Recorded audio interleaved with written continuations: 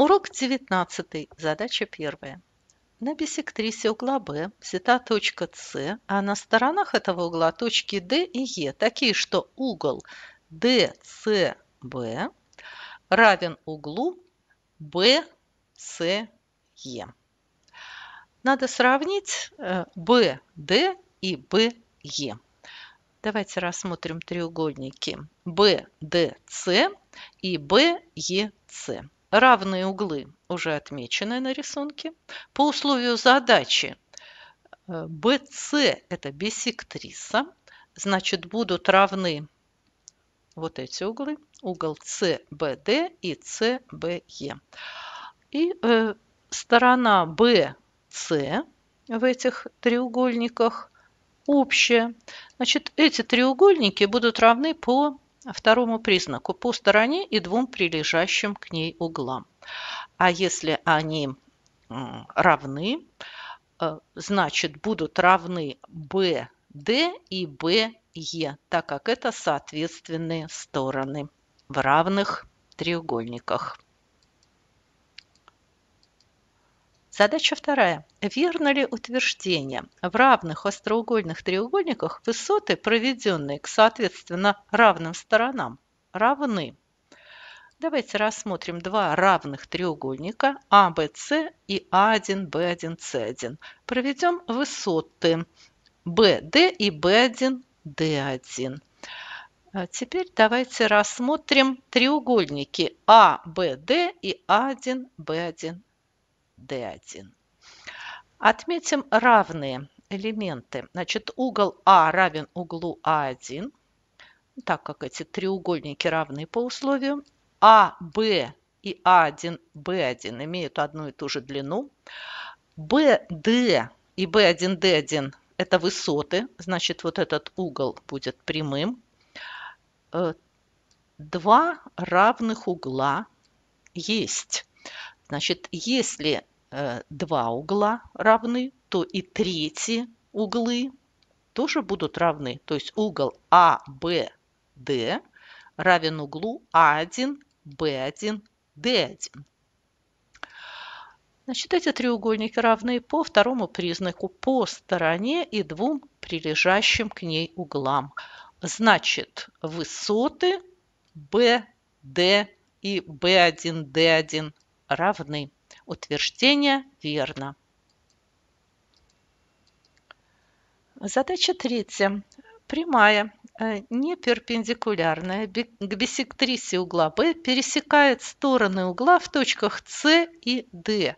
Является ли треугольник BCD равнобедренным с основанием CD? Допустим, э, является равнобедренным с основанием CD.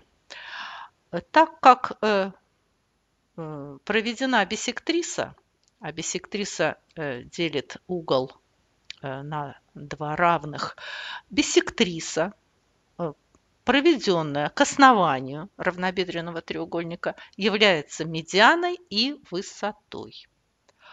То есть вот эти углы должны быть прямыми а по условию задачи не перпендикулярно к биссектрисе угла. Значит, треугольник BCD не является равнобедренным с основанием CD.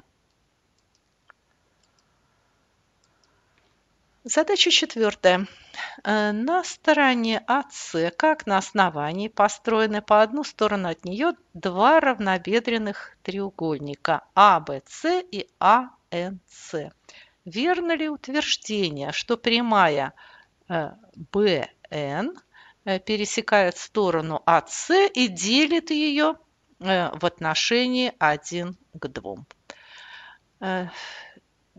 так как треугольники А, Б, С и А, Н, С э, равнобедренные. Давайте отметим равные э, стороны боковые АБ и БС равны. Кроме того, АН и НС это боковые стороны второго равнобедренного треугольника равны.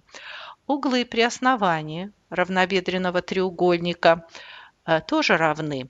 Значит, будут равны углы э, и одного равнобедренного треугольника, и другого равнобедренного треугольника.